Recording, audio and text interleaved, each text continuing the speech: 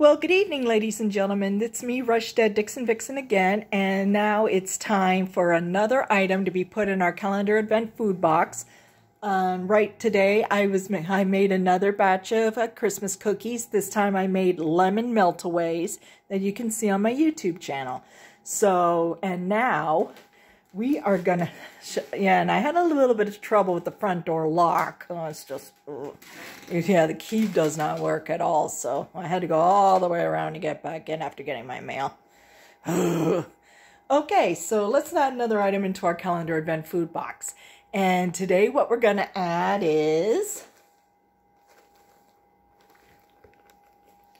one box of salted soda crackers.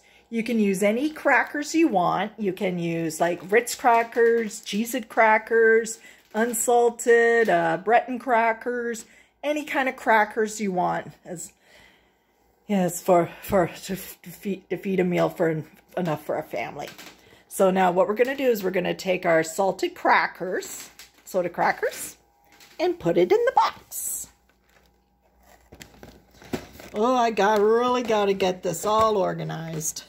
Okay, for the past uh, week, two weeks, we had we put in a box of Shreddies, a jar of Jif peanut butter, a box of stovetop stuffing, a box of instant mashed potatoes, a box of mac and cheese, a can of fruit cocktail, a can of tomatoes, a can of tuna, a can of pumpkin, a can of cranberry sauce, a can of tuna, a can, a can of beans, a package of chocolate chip cookie mix, a jar of applesauce, and one box of salted soda crackers.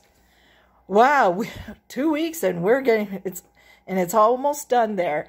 So, anyways, I'm gonna sign out. I'm gonna continue finishing baking my lemon meltaways.